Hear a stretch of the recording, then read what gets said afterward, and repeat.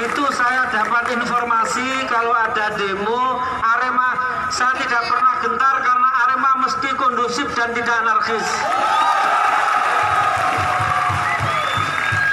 Berapa ribu pun insya Allah kita bisa menjaga karena kita cinta pada Malang.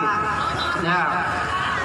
Setelah kami ketemu dengan perwakilan, ya saya sampaikan yang nemui adalah Ketua Dewan, Pak Kapolresta Malang Kota, Pak Wakil Wali Kota, Wakil Ketua Dewan, Pak Sekda, semuanya menemui semua ya.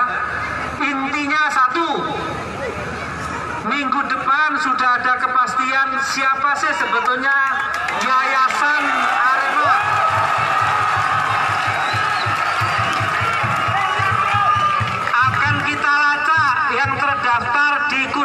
siapa sesungguhnya Yayasan Arema. Yang selanjutnya ketika sana kami akan mohon saya tidak tahu itu ada Arema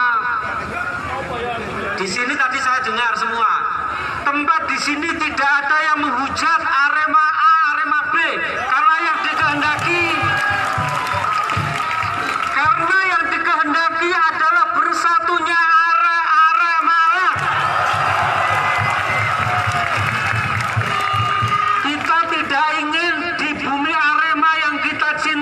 dengan Malang Kuceswa